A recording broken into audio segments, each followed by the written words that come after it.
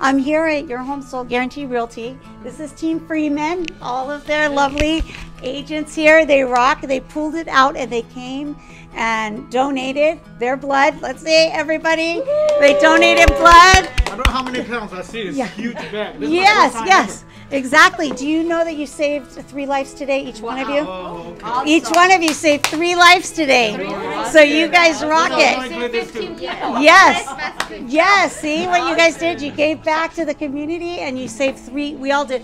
I am. I did donate. It's in there. I did donate today too. So each one of us saved three people's We- life we today.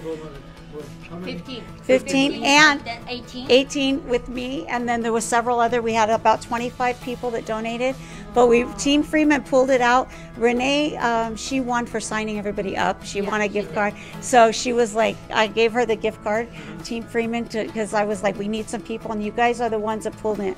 You're the only team leader that showed up and, and gave and gave blood. So I'm really proud of you. What about our fearless team leader, Rudy? No, he's not here today. He's at a conference. He's at a conference he, yesterday and today. So, No problem. I'm yeah. representing Rudy. Yeah, you're representing Rudy. Yeah, there you go. There you go. So I'm so proud of all of you. Okay. All of Team Freeman, thank you so much, and I appreciate it. And we save lives today. Yay! Go serve big, right? Yes, my name is Eddie. I am with Your Home Sold Guarantee, and we are here a blood drive um, by a Red Red Cross and partner with our company, Your Home Sold Guarantee.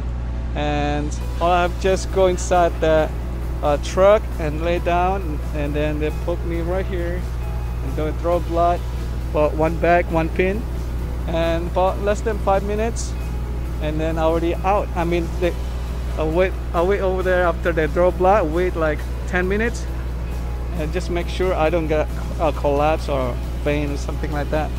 And they offer you food and drink, and I already eat and drink over there inside the truck, and I'm good to go now. Walls, I want to save lives. That's all. Give something that means something. That's why I'm here. and I'm glad to do it.